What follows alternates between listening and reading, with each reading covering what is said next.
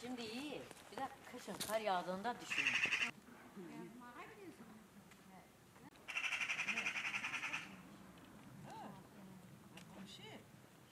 Ben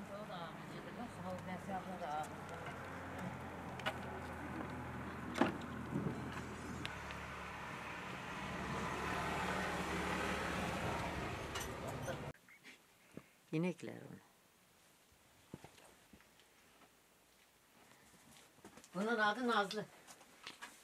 Nazlı bu. Ay. Dur dur dur dur dur. Nerede o? Nerede?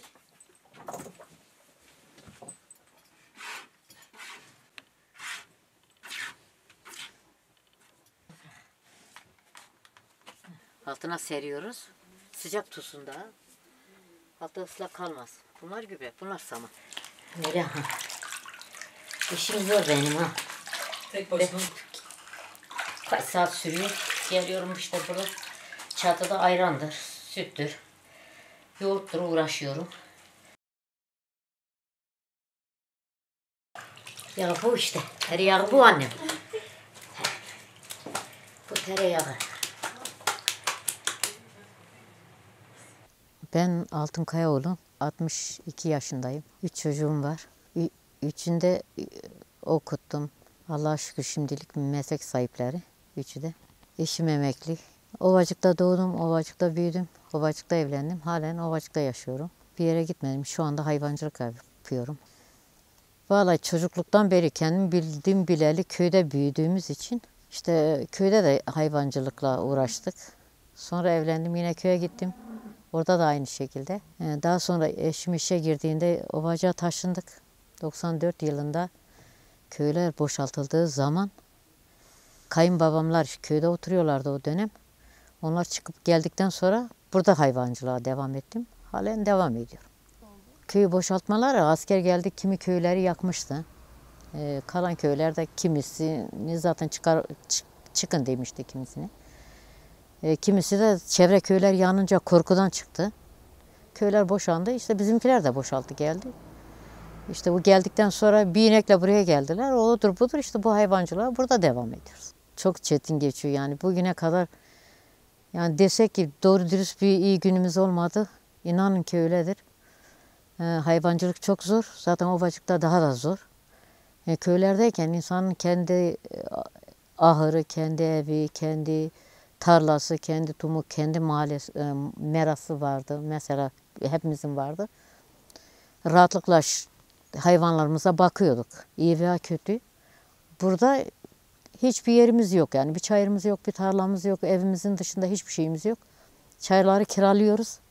Yazın kazandığımızın yarısını hemen hemen çayır parasına veriyoruz. Saman satın alıyoruz. Ee, saman satın aldığımız için yani doğru dürüst bir gelirimiz de olmuyor. Sadece işte evde bulunuyor. Kimseye muhtaç olmuyoruz. Kimseye gidip istemiyoruz. Hayvancılık da zaten bitmek noktasında. Çok zor olduğu için burada da hemen hemen benim gibi işi yapan çoğu kişinin de yeri şeyi yok, ahırı yok. Böyle bir yıkık ahırda kalıyoruz yani. 94 yılından beri birkaç ahır değiştirdik yıkıla yıkıla. En son yine bir yıkık ahır bulduk. Şu anda inan ki korkuyoruz o ahıra girmekten korkuyoruz. Ama çaremiz yok yerimiz olmadığı için mecburen devam ettiriyoruz yani olmasa da olmuyor. O zaman burada yaşıyordum. Kayınbabamlar köyde yaşıyordu. E, Duyduk işte köyler boşanıyor. Bazı kimi köyler yandı. Mercan mesela bu Kusurca köyler e, bazı mahalleler yandığında biz köye gitmiştik. Herkes herkes kendi eşyasını evini boşaltmıştı. Hani gelir olur ki bizim evler yanar, içinde eşyamız yanar, çoluk çocuğumuz yanar. Herkes kendi eşyasını evden çıkarmıştı. Böyle evden uzak bir tarlada üstünü örtmüşlerdi. Biz gittiğimizde öyle durumdaydı. Yaşlarımız çok perişandı, ağlıyorlardı. Emeğinden emeğini bırakacaklardı. Ömür vermişlerdi orada bir emek sarf etmişlerdi.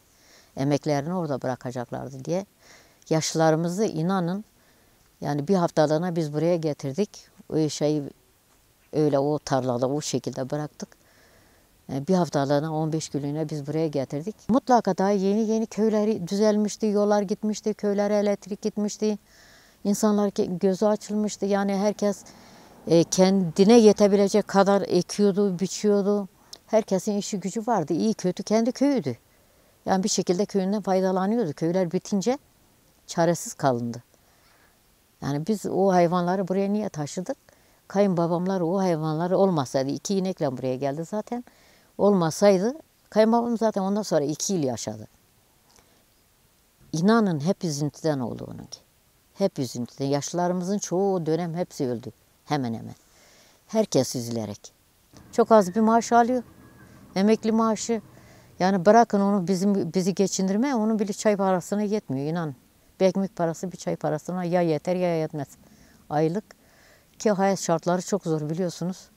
Artık böyle nefesimiz tükenmek zorunda. Yani sonuna kadar gelmişiz.